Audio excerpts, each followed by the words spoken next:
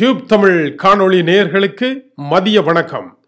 America சீனா இரு நாடுகளுக்கும் இடையே இருந்த வர்த்தக போர் முடிவுக்கு வரப்போகின்றதாக இன்று சமிக்ஞை ஒன்று கிடைத்திருக்கின்றது. ஜி இருபது மாநாட்டில் சீன அதிபரும் அமெரிக்க அதிபரும் நேற்றிரவு நடத்திய பேச்சுக்களுக்கு பின்னதாக சீனாவிற்கும் அமெரிக்காவிற்கும் இடையே இருக்கின்ற வர்த்தக போரை நிறைவுக்கு கொண்டு வந்து மறுபடியும் முதலில் இருந்து பேச்சுக்களை ஆரம்பிக்கலாம் என்று அமெரிக்க அதிபர் மகிழ்வு வெளியிட்டு இருப்பதாக அந்த செய்தி குறிப்பிடுகின்றது.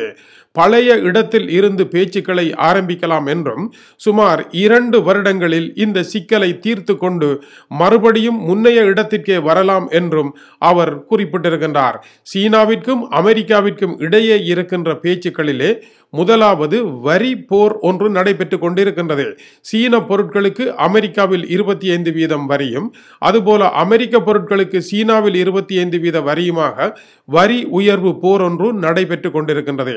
இதை தடுத்து நிறுத்தல் வேண்டும். மேலும் சீனாவினுடைய பகாசுர வர்த்தக நிறுவனமாகிய குவாவை கை தொலைபேசி அமெரிக்காவினுடைய ஐபோனை விட மிகப்பெரிய வர்த்தக வளர்ச்சியை அடையக்கூடிய சகல கட்டுமானங்களும் காணப்படுகின்றது. இந்த பிரச்சனையையும் தீர்வுக்கு கொண்டு வர வேண்டும். இவை இரண்டையும் தீர்வுக்கு கொண்டு வர வேண்டுமாக இருந்தால் வடகொரியாவை அமெரிக்காவினுடைய கையில் சீனா ஒப்படைக்க வேண்டும். நேற்று சீன அதிபர் வழங்கிய கடிதம் இந்த வர்த்தக போருக்கு பரிசாக அமெரிக்க அதிபருக்கு கிடைத்து விட்டது போல் இருக்கின்றது. ஏனென்றால் எல்லாவற்றையும் தூக்கி வீசிவிட்டு ஜப்பான் ஒசாகாவிலிருந்து பறந்து சென்று இன்று போரற்ற சூனிய பிராந்தியத்தில் வடகொரியா தென்கொரியா இடையே அமைந்திருக்கின்ற பகுதியில் அவர் வடகொரிய அதிபரை சந்திக்கின்றார்.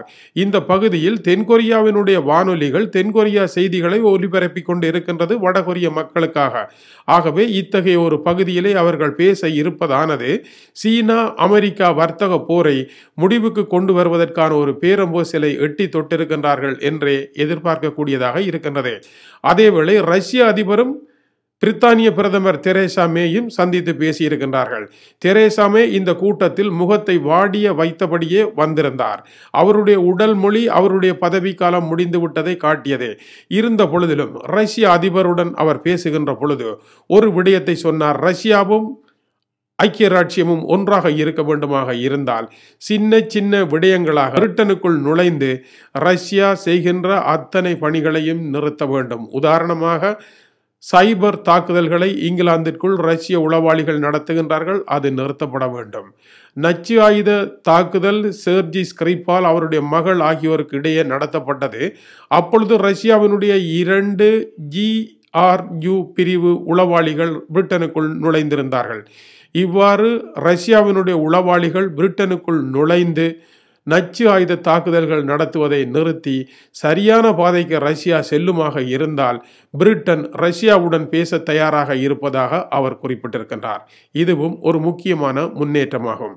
இது டியூப் தமிழ் காணொளிக்காக டென்மார்க்கிலிருந்து கீசே துறை மீண்டும் அடுத்த செய்தியில் சந்திக்கலாம். சூடான செய்திகள் வந்து கொண்டிருக்கின்றன. வணக்கம் உறவுகளே.